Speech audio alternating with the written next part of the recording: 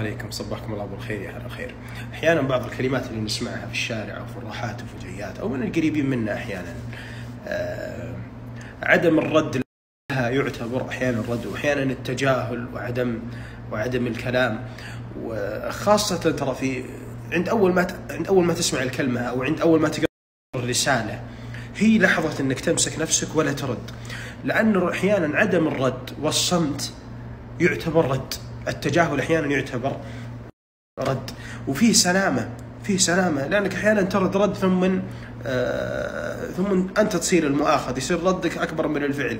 فليس كل فعل يحتاج إلى ردة فعل. أحيانا فقط الصمت والتجاهل يكفي. وترى هذا منهج قرآني. يقول سبحانه وتعالى خذ العفو وأمر بالعرف وأعرض عن الجاهلين. قال واذا خاطبوا الجاهلون قالوا سلاما سلاما. فأحيانا ترى الصمت آه، من ذهب يمكن الكلام من فضه